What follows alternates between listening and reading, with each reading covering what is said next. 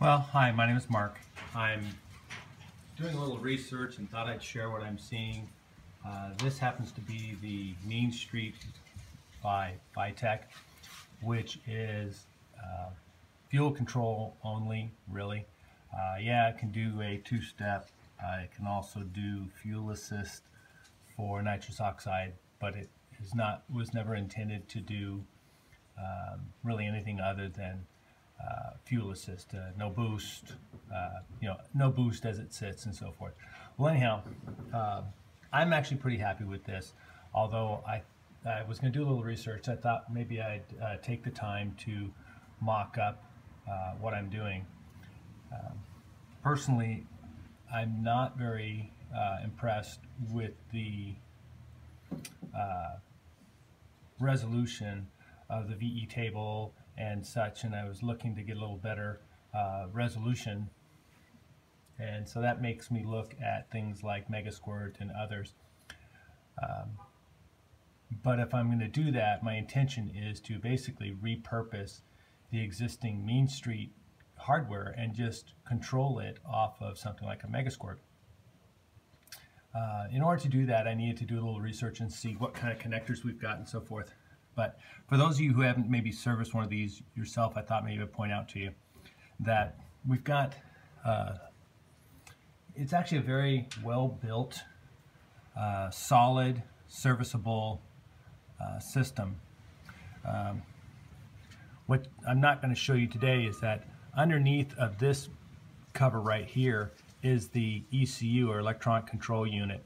Now, what you'll see if you ever get the opportunity to tear into it is that the harnesses that I'm going to show you in just a few seconds, they actually come down through this channel right here for the passenger side and a similar channel on the uh, driver's side.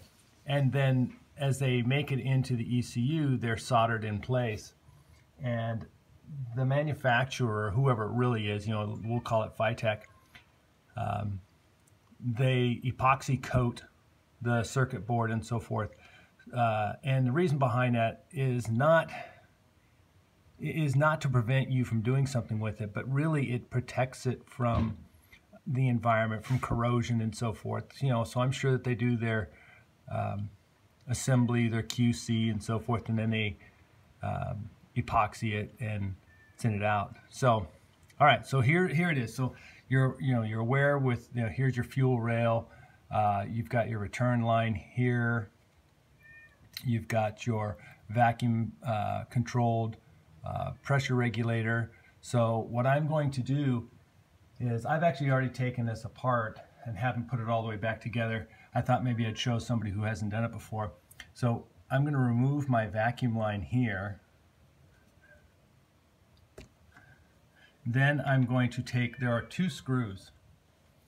Um, you should be able to see there's, there's one here and there's one here that allow for the uh, this fuel rail and cap assembly. You'll see why I call it a cap uh, to to hold solid to the uh, the rest of the throttle body.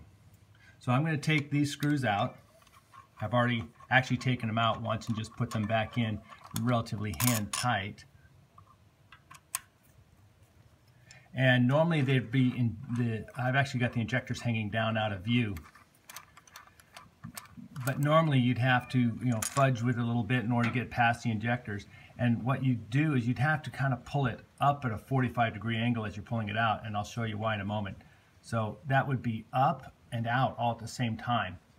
And that leaves you with this this fuel rail. Now I'm going to put it here so you can see what I'm working with in that little uh, so I'll point a few things out that I'm that I've observed so they've done a real nice job. They've radiused, you know, these holes right here where the top of the fuel injector goes in.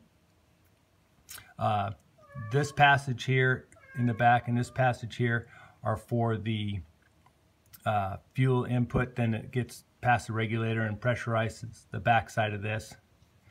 This hole here and this hole here are actually the passages that cross the throttle body to allow both sides of the rails, you know, the driver side and passenger side, to exchange fuel at adequate pressures.